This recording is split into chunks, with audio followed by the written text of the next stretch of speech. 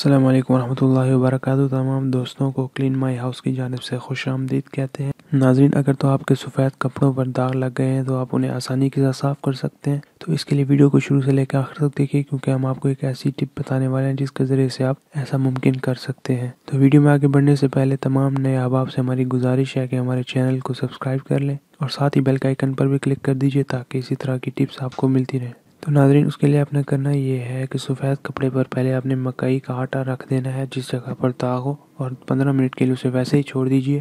اس کے بعد آپ نے کو ہاتھ سے ہٹا لینا ہے مکئی کے آٹے کو، اور پھر آپ نے وہاں پر نمک اور لیمو کو لگا کر اچھے سے ملنا ہے۔ پھر اسے ملنے کے بعد پانچ منٹ کے لیے دھوپ میں رکھ دیجیے، اور اس کے بعد آپ اسے واشنگ پاؤڈر سے دھو لیجیے۔ تو اس سے کیا ہوگا کہ سفید کپڑوں پر ہر قسم کے داغ انشاءاللہ ختم ہو جائیں گے۔ بہت ہی کمال کی ٹپ ہے، اس کو آزمائیے، اپنے دوستوں سے بھی شیئر کیجیے تاکہ ان کا بھی فائدہ ہو۔ اگر آپ کا کوئی بھی سوال ہے نیچے کمنٹ کر دیجیے، اس کا جلد از جلد جواب ملے گا۔ تو ملتے ہیں اگلی ویڈیو میں، تب تک کے لیے اللہ حافظ۔